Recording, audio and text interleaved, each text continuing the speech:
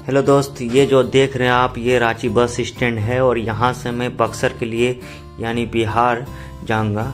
वहाँ मेरा बीएसएससी का एग्ज़ाम है। इस बस से शैलेंद्र बस, जो कि बक्सर से रांची को जाएगी। चलिए आपको बस के अंदर का नज़ारा दिखाते हैं और अपने सीट पे जाके बैठते हैं और बस, बक्सर के लिए निकलते हैं। बक्सर के लिए निकलते हैं, उससे पहले देखिए ये बस के अंदर का नज़ारा। क्या सुंदर लाइट दिया हुआ है। देख के मज़ा ही आ गया। अब चलिए अपने सीट पे बैठते हैं। ये रहा दोस्त मेरा सीट और अपने सीट पे बैठ के मैं हेडफोन लगा लिया हूँ। गाना सुनते हुए जाऊँगा बक्सर की ओर।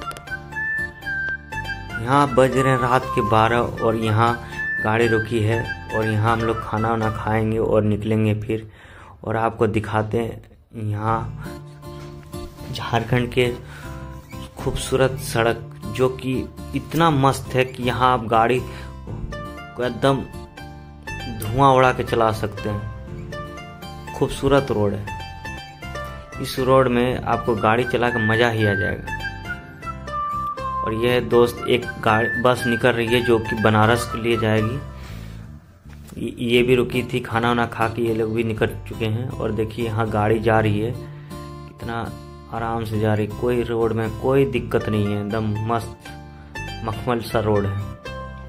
और ये आपको दिखा रहा हूँ मैं जिस होटल में रुकी है गाड़ी, इसका नाम है होटल अन्नपूर्णा, जो कि हजारीबाग में पड़ती है, रांची पटना रोड में।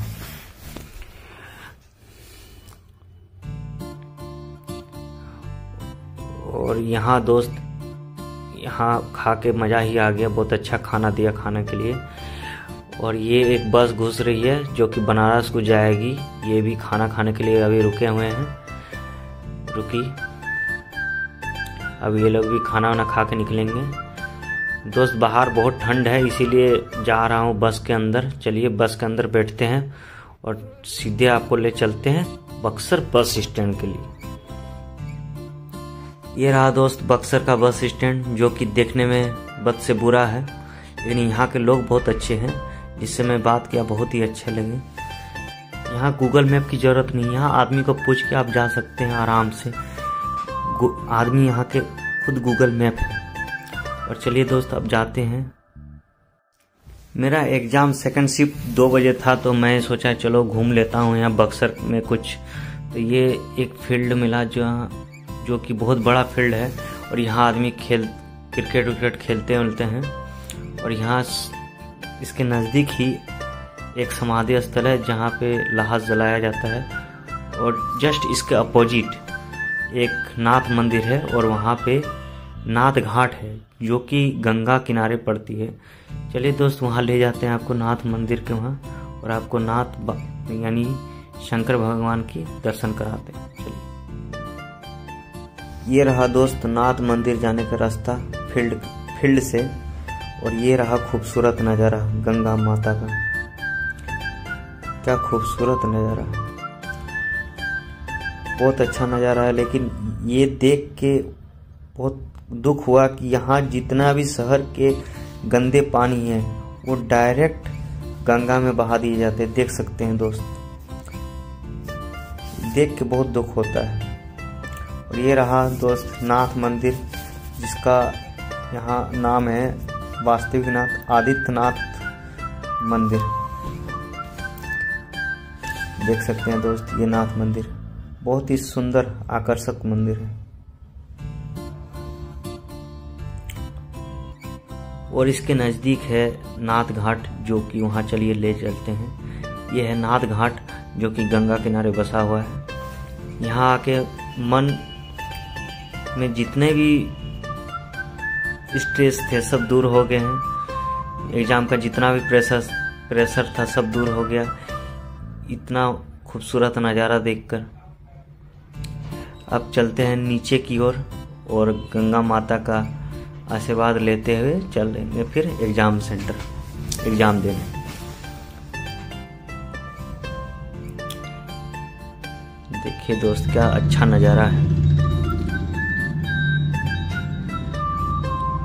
और चारों तरफ़ कोहरा ही कोहरा था तो और अच्छा नज़ारा लग रहा था।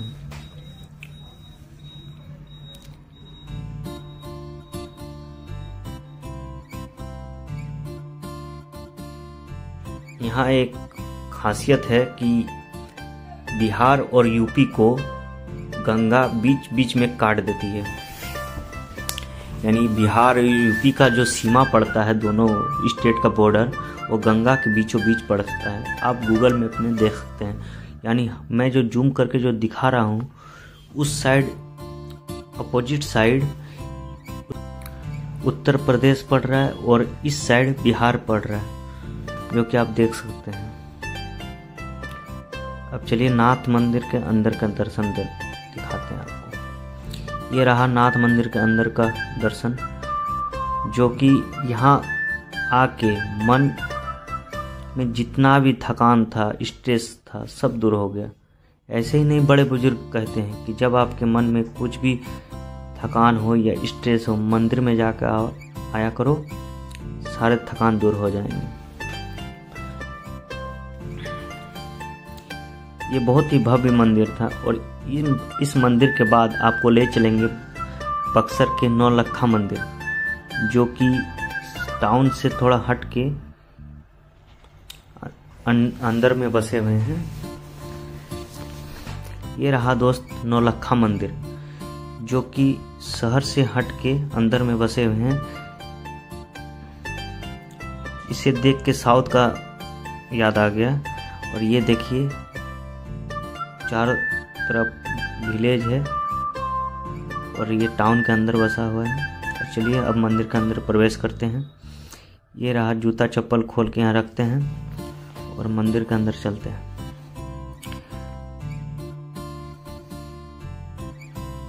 ये जो देख रहे हैं, ये पहला मंदिर है, ये है शीश महल। जहाँ की चारों तरफ़ शीशा ही शीशा है और बीच बीच में भगवान के फ़ोटो लगे हुए हैं। यहाँ जो मेन मूर्ति है, उसका तो फ़ोटो नहीं लिया, लेने दिया गया, क्योंकि वो वहाँ पाबंदी लगा हुआ है। गार्ड गार्ड साहब हैं वहाँ पे। फ़ोटो नहीं लेने देते हैं। लेकिन मैं कोशिश करूँगा कि ले लूँ। और यहाँ का जो आर्किटेक्चर देखा तो लगा कि जैसे मैं साउथ के किसी साउथ के किसी स्टेट के मंदिर में घुसा हुआ हूँ। बहुत ही अच्छा आर्किटेक्चर है। और ये रहा मंदिर के पीछे का दरवाज़ा, जो कि सेम टू सेम बनाया गया है फ्रंट दरवाजे के जैसा। और ये जो मेन मूर्ति है, उसके चारों तरफ़ भी इस तरह के आर्किटेक्चर किए गए हैं। देख सकते हैं। और यहाँ आपको एक चीज़ ज़रूर मिलेंगे, बंदर। बंदर यहाँ भरे हुए हैं बक्सर में। ये रहा दोस्त, यहाँ की मेन मूर्ति। हम कोशिश करते हैं कि जूम करके आपको दिखा सके। मेन मंदिर, मूर्ति जो है।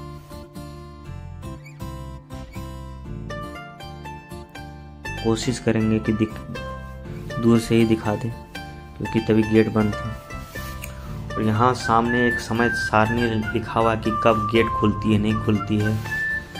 ये वजह भोग वितरण होता है, ये रहा। अब समय है एग्ज़ाम सेंटर जाने का और अपना एग्ज़ाम देने का। तो पानी पी के फ्रेश होके अब चल जाते हैं हमें एग्ज़ाम सेंटर के लिए, जो कि दो बजे से स्टार्ट था तो एक घंटा या एक घंटा कम से कम पहले पहुँच जाए एग्ज़ाम सेंटर। ये रहा दोस्त मेरा एग्ज़ाम सेंटर, जो कि पूरा का पूरा विलेज के अंदर बसा हुआ। पहले तो देख कर लगा ही नहीं कि ये एग्ज़ाम सेंटर हो सकता है। कहीं गाय, कहीं भैंस और एकदम बीचों बीच बसा हुआ है। अब चलिए दोस्त एग्ज़ाम देते हैं। ये रहा दोस्त बक्सर का रेलवे स्टेशन, जो कि इसे कहते हैं बक्सर को महाऋषि विश्वामित्र की नगरी कहते हैं इसे। और स्टेशन में तो स्टूडेंट का बहुत ही ज़्यादा भीड़ था, क्योंकि वहाँ एग्ज़ाम दे के सब कोई जा रहे थे। घर आप देख सकते हैं भीड़। बहुत ही ज़्यादा भीड़ था। मुझे तो डर था कि अपना मैं ट्रेन पकड़ पाऊँ कि नहीं, फरक्का एक्सप्रेस, जो कि मैं बरहरवा जाता अपना घर। इतना भीड़ था कि सभी ट्रेनों में एसी रहे या कोई भी कंपार्टमेंट रहे, सब में घुस जाते थे। मेरा तो थ्री ये था। में एसी कंपार्टमेंट क्या था, बुक, ताकि कोई दिक्कत ना हो जाने में। दोस्त, मेरे साथ एक लफड़ा हो गया कि मैं बरवा स्टेशन ना उतर के, फरक्का स्टेशन उतर गया, क्योंकि थका हुआ था तो ट्रेन में ही सोया हुआ रह गया और मैं पहुँच गया फरक्का एक्सप्रेस। अब यहाँ से तो ट्रेन नहीं थी। अभी ट्रेन लेट थी तो अब यहाँ से टोटो ऑटो ये सब पकड़ के अब भरवा स्टेशन जाना पड़ेगा और वहाँ से फिर मैं अपने घर के लिए निकलूँगा, जो कि काफ़ी लेट हो जाएगा घर जाने में।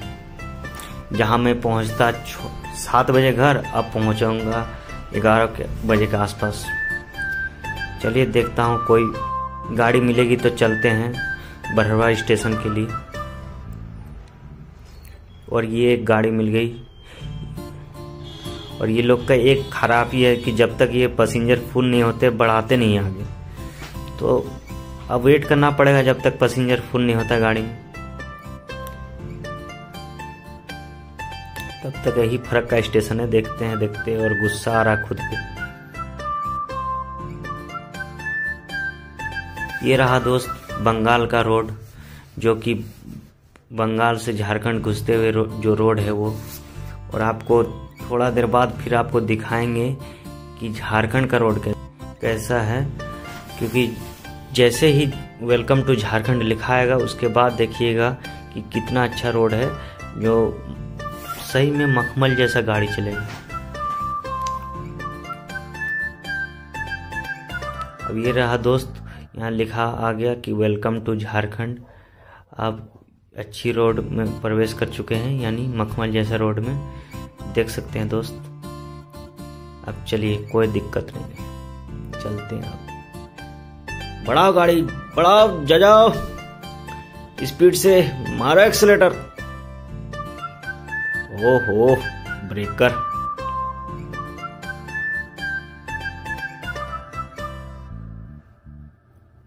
अब रहा मखमल सा रोड और ये रहा दोस्त, हम अपना बरनवा स्टेशन पहुँच गए हैं। अब यहाँ से डायरेक्ट मेरे घर के लिए ऑटो मिल जाएगा। अब यहाँ चढ़ के चलते हैं अपने, डायरेक्ट वहाँ घर।